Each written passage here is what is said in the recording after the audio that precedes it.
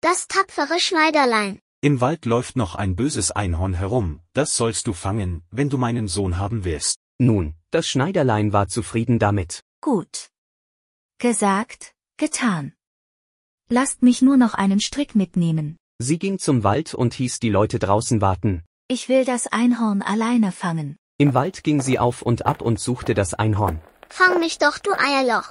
In dem kam es daher gesprungen, gerade auf das Schneiderlein zu und wollte es aufspießen. Sachte, sachte. Sie blieb stehen, wartete bis das Tier nahe war und sprang dann hinter den nebenstehenden Baum. Das Einhorn, das im vollen Laufe sich nicht wenden konnte, rannte gegen den Baum.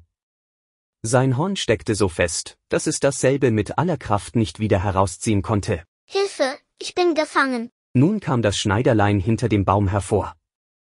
Sie tat ihm das Stricklein um den Hals.